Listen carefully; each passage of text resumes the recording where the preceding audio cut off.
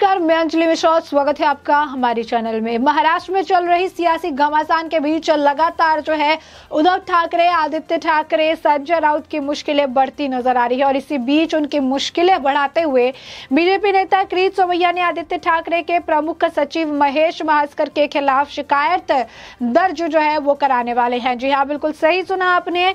आपको बता दें कि लगातार जो है, ये मामला अब सुर्खियों में बना हुआ है। फ्रॉड से जुड़ा हुआ मामला है। फ्रॉड केस का मामला है, जिसे लेकर कृत सोमैया जो है, बीजेपी नेता कृत सोमैया, पर्यावरण मंत्री आदित्य ठाकरे और प्रिंसिपल सेक्रेटरी मनीष भास्कर के खिलाफ पुलिस स्टेशन में शिकायत दर्ज कराने वाले हैं। साल 2007 में जो है, पूरे हुए एक प्रकल्प को लेकर जालसाजी और उन पर लगे झूठे आरोप को लेकर कृत सोमैया जो है, ये शिकायत दर्ज करने वाले हैं। तो साफ़ तौर पर आप देख सकते हैं कि एक बार फिर से आदित्य ठाकरे की जो मुश्किलें हैं, बढ़ती नज़र आ रही है। आदित्य ठाकरे, संजय राउत के बाद ऐसे दूसरे व्यक्ति बन चुके हैं, जो लगातार बागी विधायकों को लेकर तंज कसते नज़र आ रहे हैं निशाना साधते नज़र आ रहे हैं, धमकाते नज़र आ रहे हैं और इसी बीच जो है, अब उनके खिलाफ एक और मामला दर्ज होता नज़र आ रहा है। आप सोचोगे कि एक और मामला हम क्यों कह रहे हैं? आखिर इससे पहले कौन सा मामला जो है दायर किया गया है? तो इसके बारे में भी हम आपको जानकारी दे दें कि आदित्य ठाकरे के ऊपर जो है, आदित्य ठाकरे, उद्धव ठाकरे संजय राउत को लेकर कल ही एक जनहित याचिका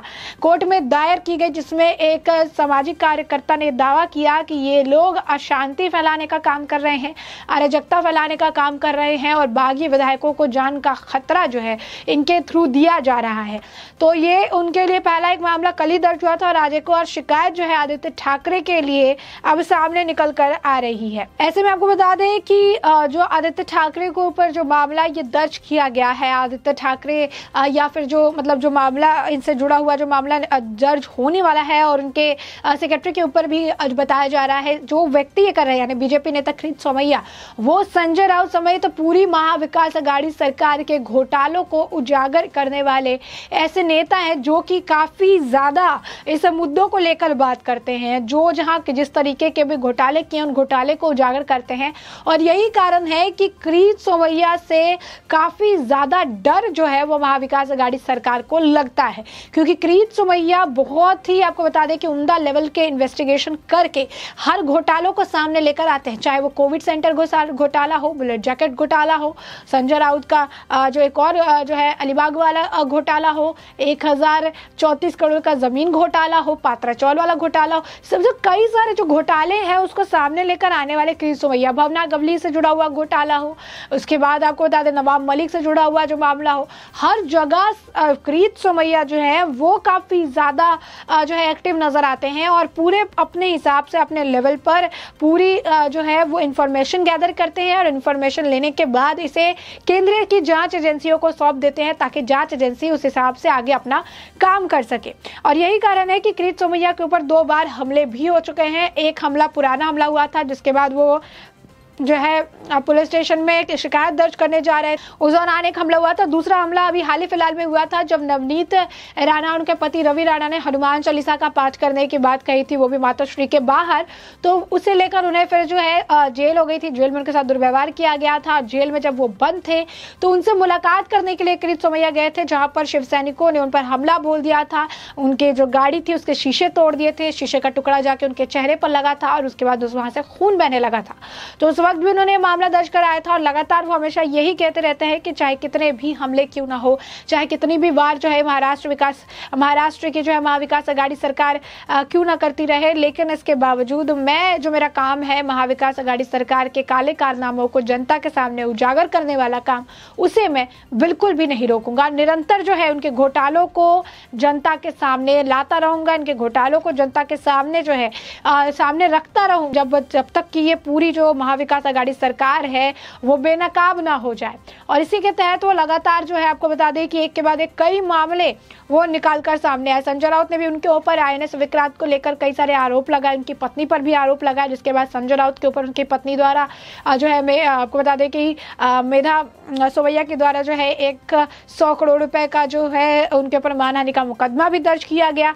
तो कीत सोमैया जो है, वो काफ़ी ज़्यादा इस पूरे मामले को लेकर एक्टिव रहते हैं। लगातार जो है वो हर घोटालों को उजागर करने में काफ़ी ज़्यादा इंटरेस्टेड नज़र आते हैं, अपनी बातों को बहुत ही स्ट्रांगली रखते हैं, अपने पक्ष को काफ़ी ज़्यादा स्ट्रांगली रखते हैं। वहीं आपको बता दें कि कल ही की बात है, जो महाराष्ट्र में जारी सियासी उठापटक के बीच एक सामाजिक कार्यकर्ता ने हाईकोर्ट में याचिका दाखिल कर मांग की कि मुख्यमंत्री उद्धव ठाकरे, आदित्य ठाकरे और शिवसेना सांसद संजय राउत पर देशद्रोह का केस चलाया जाए। सामाजिक कार्यकर्ता हेमंत पाटिल की ओर से दाखिल की गई जनहित याचिका में ये मांग की गई कि तीनों के खिलाफ अराजकता और सरकारी काम को रोकने के लिए देशद्रोह का केस दर्ज होना चाहिए। तो ये जो है उनके तरफ़ से कल ये एक बड़ी अपील जो है की गई थी जनहित याचिका जो है कोर्ट में दाखिल की गई थी। याचिकाकर्ता ने ये भी जो है ये भी मांग की है कि अदालत ठाकरे के पिता पुत्र और संजय राउत की ओर से प्रेस कॉन्फ्रेंस करने पर रोक लगा दे।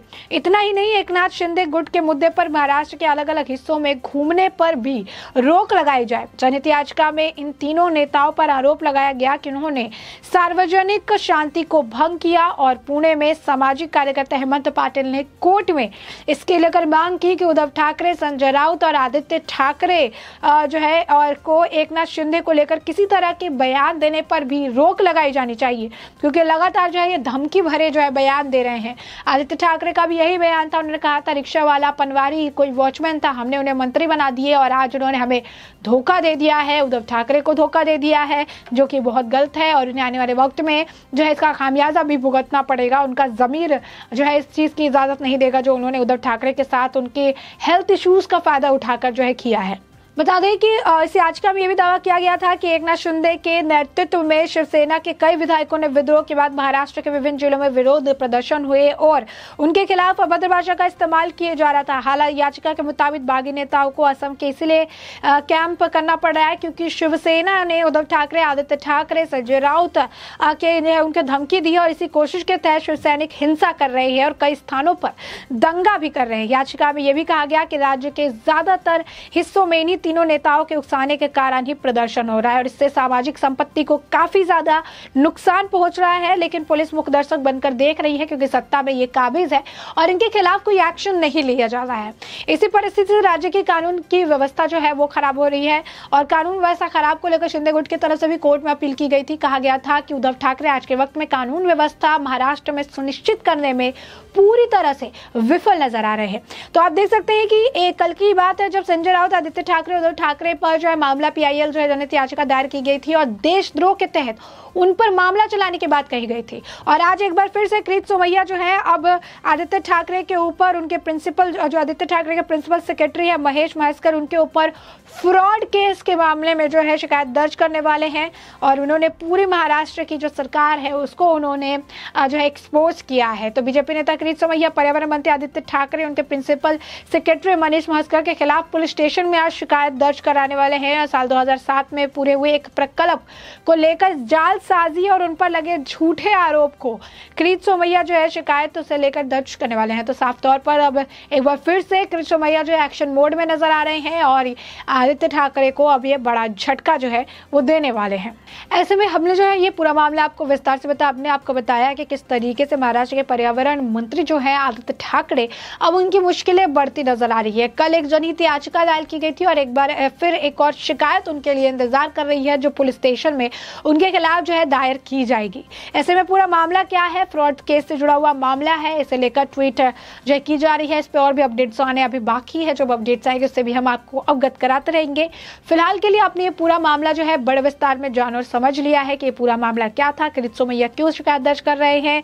और ये जिस व्यक्ति का नाम निकलकर सामने आया, महेश मस्कर उसका आदित्य ठाकरे के साथ क्या रिश्ता है? और आदित्य ठाकरे के इस पूरे मामले में मुश्किलें क्यों बढ़ती नज़र आ रही है। ऐसे में आपने ये पूरा मामला जान और समझ लिया है और अब इस पूरे मुद्दे पर आपकी भी जो प्रतिक्रिया हो, हमें कमेंट सेक्शन में कमेंट करके ज़रूर साझा करें।